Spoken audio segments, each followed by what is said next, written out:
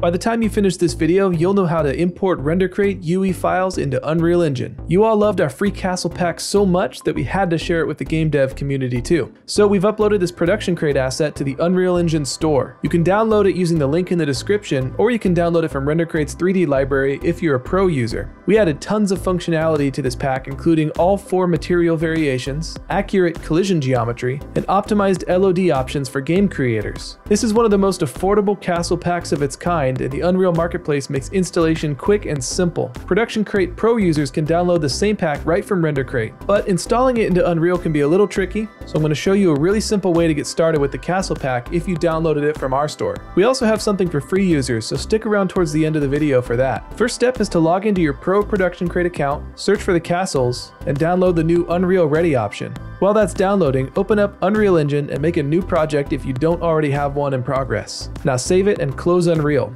Navigate to where the project is saved and open up that folder. Once the castle pack finishes downloading from Production Crate, unzip it directly into the content folder of your Unreal project. Okay, start Unreal and load your project back up. You should now see all those castle assets ready to go. If you go into the Maps folder, you'll find a showcase level with all the assets organized and spread out for you to inspect. There's also a really simple example level. As you can see, I'm not exactly a medieval engineer and I forgot to create a royal escape route, but if you can make a better castle than me, share it with us on Instagram or on Discord. And for users who don't have the cash yet for Marketplace or for a pro membership, you can sign up for a free account on Production Crate to get thousands of free assets, including the original castle pack. These models are great for VFX, but free users will have to set up the Unreal functionality themselves. Thankfully, we already have a video showing you how to do that, which you'll find linked in the description below. Be sure to tag us in your castle posts on social media and check out Production Crate for more assets and tutorials. Later, creators.